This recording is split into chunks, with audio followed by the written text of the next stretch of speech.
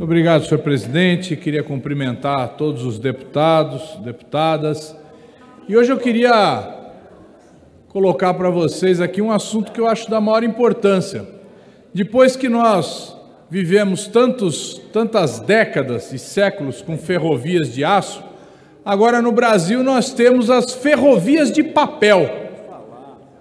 É, deputado Paulão.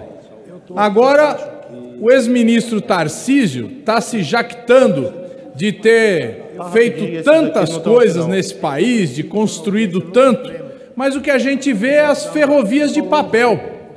São ferrovias que empresas sem capital ou quase sem nenhum capital pedem autorização no Ministério de Transportes para a construção.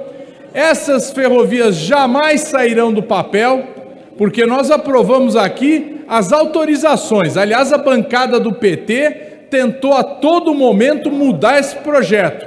Resultado: nós temos hoje cinco projetos de 3.200 quilômetros de ferrovia no valor de 50 bilhões apresentados com empresas, todas elas com capital inferior a um milhão de reais.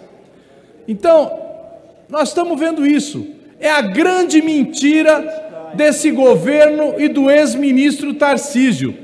Ex-ministro que deveria se preocupar com 93% das rodovias que não são concessionadas. E esse ano de 2022, nós só vamos ter 8,6 bilhões de reais para conservação e ampliação das ferrovias.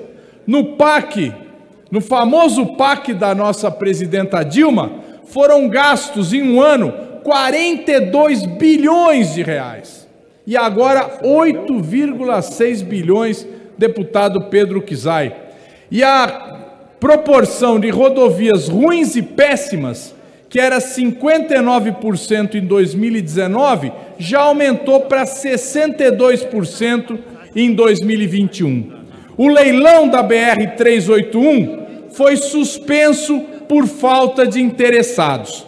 Essa é a obra do ex-ministro Tarcísio, que agora quer ser candidato a governador de São Paulo sem nunca ter morado no estado, sem conhecer absolutamente nada. Esse é o ex-ministro da empresa de aviação Itapemirim Itapemirim que deu um golpe na praça e que ele apresentou como uma empresa que faria ressurgir e ampliar as empresas de aviação no Brasil. E nós estamos vendo as empresas de aviação cobrando os olhos da cara do povo brasileiro.